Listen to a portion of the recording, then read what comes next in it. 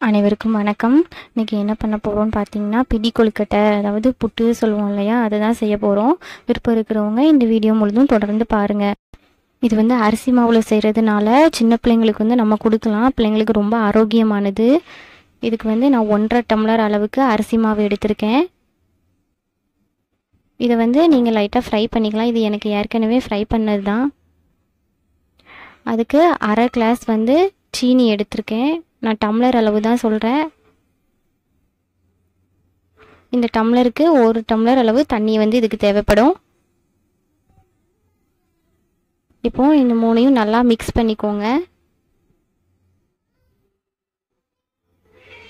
கடையில் வந்து பிள்ளைங்களுக்கு நம்ம இந்த மாதிரி ஸ்நாக்ஸ் எதுவும் ஆயில் ஐட்டம் வாங்கி கொடுக்கறத விட வீட்டில் வந்து ஆவியில் வேக வச்சு கொடுக்கறது வந்து பிள்ளைங்களுக்கும் மட்டும் இல்லை பெரியவங்களுக்கும் ரொம்ப ஆரோக்கியமானது தான் நீங்கள் வந்து இதில் வந்து சீனி சேர்க்கறதுக்கு பதில் நாட்டு சர்க்கரையோ இல்லை வெல்லமோ நீங்கள் சேர்த்துக்கலாம். அது ரொம்ப நல்லது.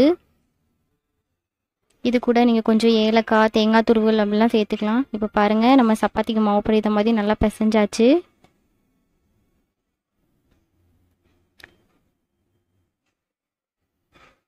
தண்ணி ரொம்ப அதிகமாகவும் சேர்த்துறாதீங்க. இதுதான் அதோட பதம். நீங்கள் தொட்டு பார்க்கும்போது ஒரு விரல் உள்ள போகிறது தான் இப்போ வந்து இந்த மாதிரி லைட்டாக ப்ரெஸ் பண்ணி இப்படி உருண்டையாக பிடிச்சிட்டு பண்ணிங்கன்னா நம்மளோட கையோட தடம் வந்து அழகாக விழும்.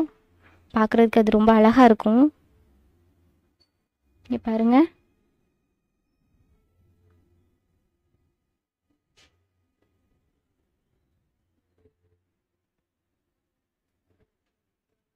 இப்போ இதை மாதிரி நான் மறுபடி ஒரு நேரம் செஞ்சு காமிக்கிறேன்.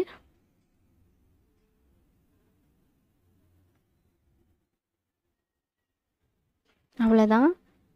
இப்போ பாருங்கள் நான் நான் எல்லாமே பிடிச்சு வச்சுருக்கேன். இது இந்த மாதிரி தான் பண்ணணும் அப்படின்னு கிடையாது. உங்கள் விருப்பப்படி நீங்கள் உருண்டையாகவும் பிடிச்சு வச்சுக்கலாம்.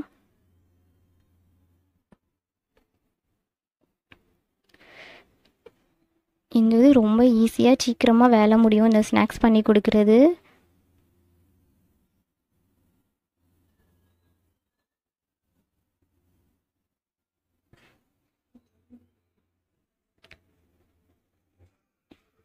இப்போ வந்து நான் வந்து இட்லி வைக்கிற பாத்திரத்தில் வச்சு மூடி வச்சாச்சு.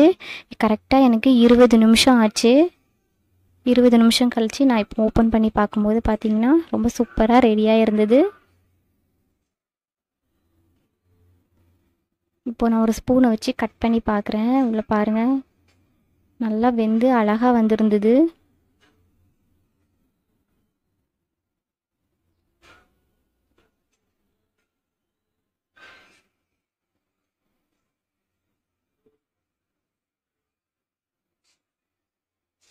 பாருங்கள் நல்லா வெந்து வந்திருக்கு.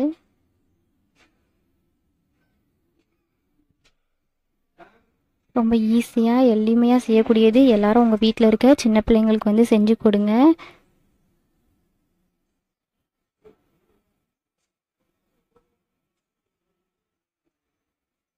பாருங்கள் ரொம்ப சாஃப்டாகவும் இருந்துச்சு. இது வரைக்கும் இந்த வீடியோவை பொறுமையாக பார்த்ததற்கு ரொம்ப நன்றி.